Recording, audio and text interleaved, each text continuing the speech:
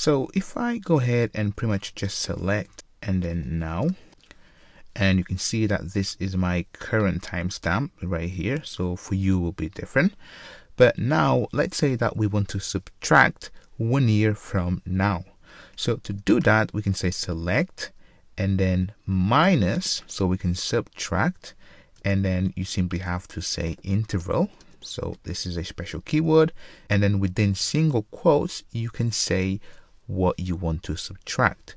So you can say one in a year.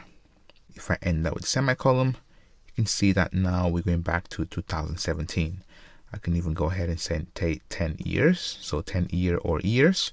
And you can see that I'm going back to 2008 and this was about you know um, you know recession so recession time so basically financial crisis time uh, but yeah so you can also uh, say let's say months. So you can take away months right? So i'm going 10 10 months back. So we're going back to february.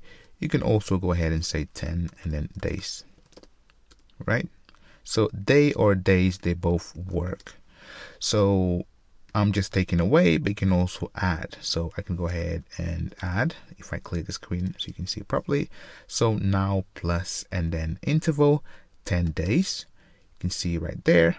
So if I go and say 10 and then months,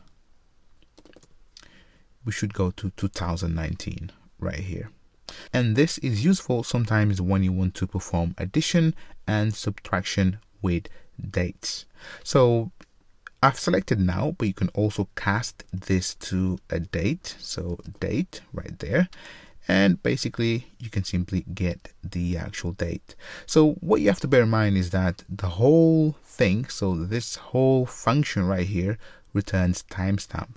So if you simply want the actual date, and you can see that right here, I've got the hour, minute, and second, you simply have to wrap everything and then cast it. So date here. And if I go back, so I can remove this casting and then cast the entire statement. If I press enter, now you can see that we're simply getting the actual date. So this is all for this video. If you have any questions on adding and subtracting dates, go ahead and drop me a message. Otherwise, I'll see you on the next video. See ya.